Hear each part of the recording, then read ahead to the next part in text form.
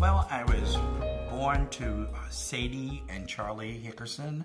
Um, we lived in uh, an area of New Orleans called Central City.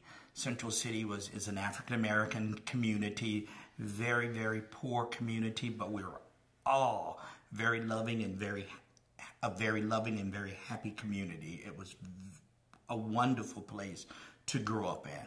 Um, that's where I grew up uh, until the age of uh, 12.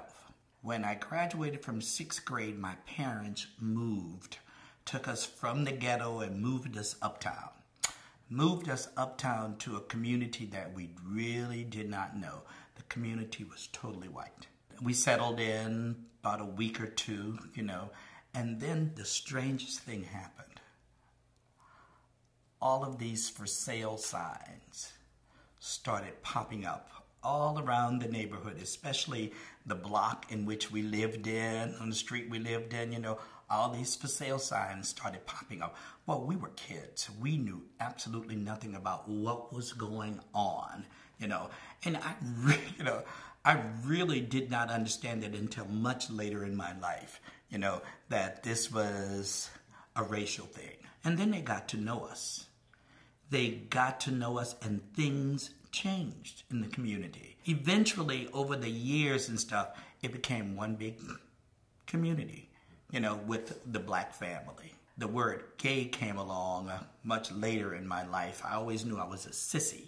You know, I always knew that was the name that was called to you when you were a kid in African American communities. You know, you were a sissy. And, you know, growing up uh, back in the 60s in my era, um, those are things that you kept a secret. And I ran across a magazine that my neighbor, the white guy that lived next door to me, put in his trash. And there were all these magazines, and in all the magazines was this word gay. So I started putting two and two together, and I realized he was gay.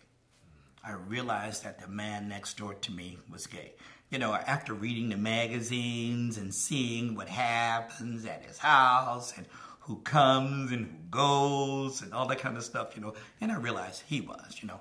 But, you know, looking at these magazines from his trash, you know, taught me a lot.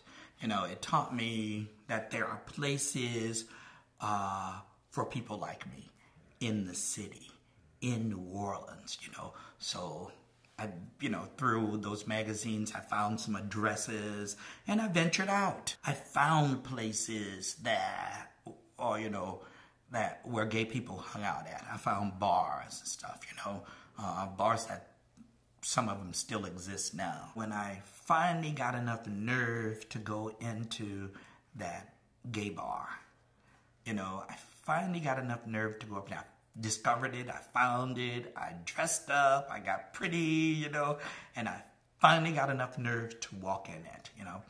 And uh, and when I walked into it, I began to feel that, I experienced that same thing again. You know, it was a period of time when blacks, when the gay bars, the gay community was predominantly white and I began to experience the same thing, you know, being last to be served at the bar when you're sitting up at the bar, you know, and all the white guys stuff getting their drinks and stuff before you, you know, um, for me, it translated back to the for sale signs. You know, it, it translated right back to that. I began to feel that same isolation, that you know, um, that I felt when I was 12 years old. I never stopped going. I, I, I endured it. You know, I would sit there by myself. And then I eventually got to meet the bartenders and they got to know me. It's important that you hear a lot of this stuff from a black perspective. It's an experience, it's an adventure, it's an it's a journey, sometimes crippling, but you know you get up, you dust yourself off and you fight on.